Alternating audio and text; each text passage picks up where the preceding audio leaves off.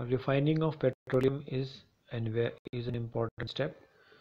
The, the diagram which I am showing here is not given in the NCERT book but this is a diagram which will make you understand that how is the refining of petroleum done. In this you are seeing that there is a long column which is called the fractionating column.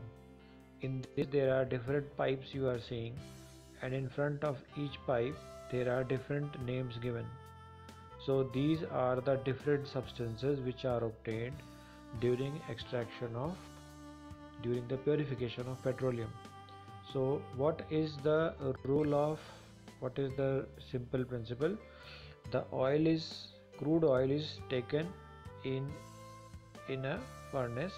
It is taken in a pipe and then it is heated in this chamber after that it is then passed into the next chamber which is called the fractionating column. These are changed into vapors at high temperature and these vapors start rising up.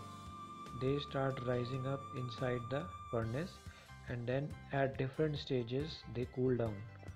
When these vapors cool down they come out at different temperatures from different openings and then we get the different fractions.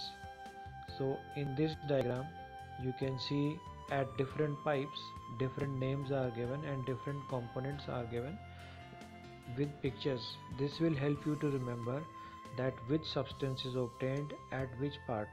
So at the bottom part of the furnace you are seeing that there is a this lower part of the furnace a liquid which is called the waste of the crude oil is obtained which is asphalt. It is used for making roads. Above it there is diesel then there is kerosene then and kerosene and then petroleum and then last at the top you are seeing there is LPG the petroleum gas. So these are the vapors which are obtained at the top at the top part of the furnace, the vapor is obtained whose boiling point is lowest and at the bottom part of the furnace, those substances whose boiling point is the highest they are obtained. In your book, the temperatures are mentioned, so you have to mainly remember that how is it, how is the refining done.